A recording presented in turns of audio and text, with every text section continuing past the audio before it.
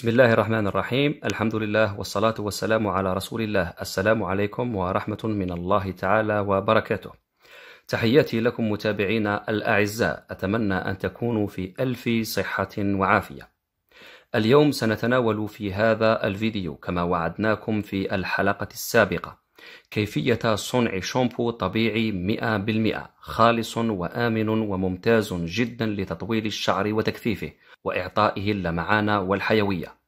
أيضا سنحضر وصفة أخرى وهي زيت طبيعي من عشبة ذيل الحصان. وكنا قد تعرفنا على عشبة ذيل الحصان في الحلقة السابقة. كنا قد أعددنا من خلالها هذه الخلطة اعتمادا على المكون الرئيسي وهو ذيل الحصان. وكنا في طريقة الاستعمال قد أشرنا إلى أنه ولتسريع النتيجة أكثر. يفضل أن نستعمل هذه الوصفة. وكنا قد حضرنا في الحلقة السابقة كرام عشبة ذيل الحصان. سأضع لكم رابط الفيديو لمن لم يشاهده في أسفل الفيديو في صندوق الوصف. وأيضا سأضع لكم رابطه الآن أعلى الفيديو على الدائرة البيضاء. طيب كنا قد أشرنا في الحلقة الماضية أنه لتسريع النتيجة أكثر يفضل أن نستعمل هذه الوصفة والكريم والزيت والشامبو. تبقى لنا اليوم طريقة صنع الزيت والشامبو. سوف نتعرف عليهما في هذه الحلقة بحول الله وبدون إطالة سنباشر على بركة الله في إعداد الوصفتين. بداية سوف نتناول طريقة تحضير شامبو عشبة ذيل الحصان. ثم الوصفة الثانية زيت عشبة ذيل الحصان أيضا وطريقة استعمالهما وبعد ذلك سنوضح طريقة استعمال كل المكونات الأربع مع بعضها البعض سواء الخلطة أو الكريم أو الزيت أو حتى الشامبو. طيب بالنسبة لوصفة شامبو ذيل الحصان أولا لابد من إحضار العشبة وهي المكون الأساسي. ثم نقوم بتنقيعها في الماء المغلي ونتركها لمدة من الزمن حتى تنقع جيدا. وبعدها نصفي المحلول حتى نتحصل عليه بهذا الشكل كما تشاهدونه الآن أمامكم. بعد ذلك نقوم بإحضار وعاء ونسكب بداخله المحلول. طيب بالنسبة للكمية التي استعملتها في هذه الوصفة لكمية منقوع العشبة هو راجع دائما لكثافة الشعر وطوله. أنا أضفت مقدار كوب واحد وأنتم يمكنكم مضاعفة الكمية. بعدها نقوم بوضع مبشور صابونة عادية خالية من الإضافات والملونات والمواد الكيميائية. كما يمكنكم إضافة أي نوع أو أي صابون طبيعي موجود لديكم في المنزل. أما بالنسبة لمن لديهم شيب على الشعر فأنا أنصحكم بطريقتين وأنتم اختاروا الطريقة المناسبة. إما نضع داخل هذا المنقوع صابونة الغار مبشورة تجدونها عند العطارين وعند مراكز الأعشاب وهي طبيعية وممتازة جدا لعلاج وإزالة الشيب. وإن لم تتمكنوا من إيجاد صابونة الغار سنستعمل الطريقة الثانية وهي أن نقوم بإحضار منقوع عشبة ذيل الحصان مقدار كوب ومقدار كوب ثان من منقوع ورق الغار أو الرند كما يسمى ثم نخلط المكونين معا. بعد ذلك نضيف إليهما الصابون العادية. ليس ضروري استعمال صابونة الغار فقط الصابون العادي سوف يكون مناسبا. المهم أن يكون الصابون العادي غير معطر الموجود عندكم في المنزل. طيب نضيف الصابون التي قمنا بتبشيرها إلى هذا المحلول أو إلى منقوع عشبة ذيل الحصان. طيب بعد ذلك نعرض هذا الوعاء إلى الحرارة. الحرارة تكون هادئة إلى متوسطة مع الخلط الجيد دون توقف. نعرض هذا الوعاء إلى الحرارة تكون الحرارة هادئة إلى متوسطة. مع الخلط الجيد دون توقف. نباشر بعملية الخلط وشيئا فشيئا. سنجد أن المحلول بدأ يتثاقل تدريجيا. إلى أن يذوب الصابون كليا بداخل المنقوع. بعدها نطفئ النار ونترك المحلول ليبرد قليلا قبل استكمال الوصفة. طيب بعدها نكون قد تحصلنا على هذا الشامبو. لكن هو بحاجة إلى مكونات أخرى. هنا نضيف مقدار ملعقة كبيرة من زيت جوز الهند. مقدار ملعقة كبيرة. ثم نضيف بعد ذلك مقدار ملعقتين كبيرتين من شامبو أطفال. هنا يفضل استعمال شامبو أطفال. لكن إن لم يتوفر شامبو أطفال يمكن استعمال الشامبو العادي.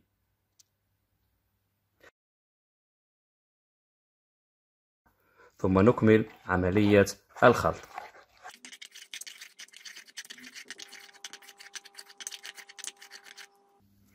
طيب في الأخير نكون قد تحصلنا على هذا الشامبو الطبيعي المستخلص من عشبة ذيل الحصان. بالنسبة للزيت الذي أضفناه وهو زيت جوز الهند يمكنكم استعمال أي زيت مناسب للشعر عندكم سواء كان زيت الزيتون أو زيت الخروع أو زيت جوز الهند أو أي نوع آخر. طيب بالنسبة لطريقة استعمال هذا الشامبو سأؤجل ذكرها إلى آخر الفيديو حتى أذكر طريقة استعمال الشامبو مع الزيت الذي سوف نحضره الآن لأن الوصفتان تتماشيان مع بعضهما البعض. طيب ننتقل الآن إلى طريقة تحضير زيت عشبة ذيل الحصان. أما فيما يخص الطريقة الصحيحة فهي كالتالي. في الحقيقة هنالك طريقتين لتحضير زيت العشبة سوف نشرحهما بالتفصيل. أول طريقة هي أن نحضر كمية من عشبة ذيل الحصان قدر كفة يد كما تشاهدونها الآن. ثم نضعها في برطمان من زجاج. ثم بعد ذلك نضيف إلى العشبة كمية من الزيت سواء استعملنا زيت الطعام أو استعملنا زيت الزيتون أو أي نوع من الزيوت المناسبة عندكم.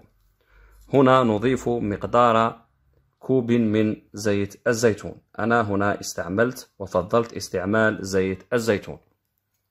بهذه الطريقة كما تشاهدونها الآن أمامكم. نضعها داخل برطمان من زجاج. ثم نغلق البرطمان جيدا. هذا البرطمان نضعه في مكان مظلم وجاف لمدة أسبوع كامل مع التحريك بقوة أو بالأحرى رج البرطمان جيدا وبقوة وهذا يوميا حتى تتفاعل أو بالأحرى يتفاعل المكونان مع بعضهما البعض وبعد انتهاء الأسبوع سيصير هذا الزيت جاهزا للاستعمال. مع ملاحظة مهمة هنا حينما نريد استعمال هذا الزيت لا نقوم بتصفيته وإنما نضعه مباشرة على الشعر لأن العشبة في السابق كنا قد قمنا بغسلها من الأطربة والشوائب العالقة بها لذلك لا ضرورة لتصفية الزيت قبل تطبيقه على الشعر. هذا فيما يخص الطريقة الأولى. أما فيما يخص الطريقة الثانية وهي الطريقة الأسرع في حال أردتم الاستعجال في تحضير الزيت وهي أن يتم استعمال الحمام المائي. نضع البرطمان على حمام مائي على نار هادئة جدا ونتركه لمدة ساعتين وبعدها سيصير جاهزا للاستعمال. هاتين هما الطريقتان الأنسب لتحضير زيت عشبة ذيل الحصان. طيب الآن وبعدما قمنا بتحضير الشامبو والزيت لم يتبقى لدينا إلا أن نتعرف على طريقة استعمالهما وتطبيقهما على الشعر. طيب في الحلقة المنصرمة كنا قد تعرفنا على طريقة تحضير خلطة عشبة ذيل الحصان وأيضا عرفنا كيفية تحضير الكريم المستخرج من عشبة ذيل الحصان. الآن إجمالا صارت لدينا أربع وصفات. كما تشاهدونها الآن أمامكم الخلطة والكريم والزيت والشامبو. طيب سأذكر الآن طرق الاستعمال إجمالا لكل الوصفات. بداية نضع الخلطة على الشعر كما شرحناها في الحلقة السابقة. وبعد انتهاء المدة نغسل الشعر لإزالة الخليط بمنقوع عشبة ذيل الحصان ونتركه ليجف تلقائيا لمدة قليلة. بعدها وبدون استعمال الشامبو نضع هذا الكريم مباشرة على الشعر. طيب وبعد انقضاء المدة والكريم على الشعر نغسله بهذا الشامبو شامبو عشبة ذيل الحصان هذا خلال النهار أو في الفترة الصباحية. وفي الليل قبل النوم نضع زيت العشبة على الشعر ونبيت به إلى غاية صباح اليوم الموالي على أن تستعمل هذه الطريقة لمرتين في الأسبوع فقط. قد يقول سائل أن الزيت على الشعر قبل النوم ألا يسبب غلق المسامات لفروة الرأس؟ الإجابة هي لا. الزيت مهم ومفيد جدا للشعر نضعه قبل النوم ونترك الشعر ليرتاح ويتغذى من هذا الزيت. لكن بشرط هذه الوصفة تستعمل لمرتين فقط في الأسبوع وتكون المرتان اللتان نستعملهما فيهما على الشعر متباعدتان عن بعضهما البعض حتى نترك الشعر يرتاح قليلا ولا نسبب لفروة الرأس إجهادا. وحتى نتحصل أيضا على نتيجة تكون أسرع. طيب سؤال آخر قد يطرحه المتابعون الأفاضل. هل إذا وضعنا الزيت قبل النوم هل نقوم بغسله مرة أخرى؟ الإجابة هي لا داعي إلى ذلك. لكن إذا رأيت أو إذا رأيت أن ذلك هو أمر ضروري ولا بد منه يمكن هنا تقديم الزيت على الشامبو. بمعنى أننا نستعمل الوصفة ثم الكريم وبعدها الزيت. وقبل النوم نغسل الشعر بهذا الشامبو.